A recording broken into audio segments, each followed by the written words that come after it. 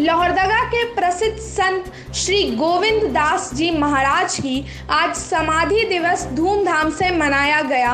इस मौके पर विभिन्न धार्मिक संगठनों और समाज सेवी की ओर से बाबा गोविंद दास जी के समाधि पर चादर चढ़ाया गया। उनके समक्ष पुष्प अर्चन एवं दीप प्रज्वलन किया गया। जैसा कि हम सभी जानते हैं कि 1980 में निरंकारी बाबा गोविंद दास जी का लोहरदगा में आगमन हुआ था।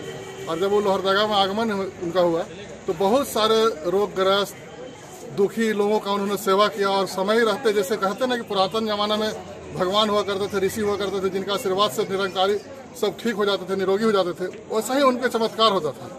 वो 1980 से उन्नीस सौ चौरासी तक लोहरदगा में रहे, उसके बाद वो यहीं पर समाधि ले लिए। उनके समाधि लेने के बाद सनातन समाज में पूरा आस्था का सैलाब उमड़ पड़ा।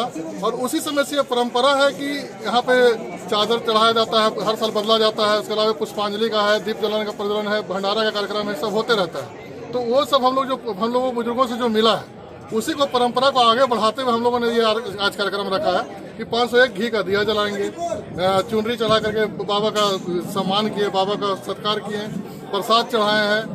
अब, अभी दो सौ दिया जलाएँगे और फिर शाम को तीन सौ एक दिया जलाएँगे। टोटल पाँच सौ एक घी का दिया जलाएँगे।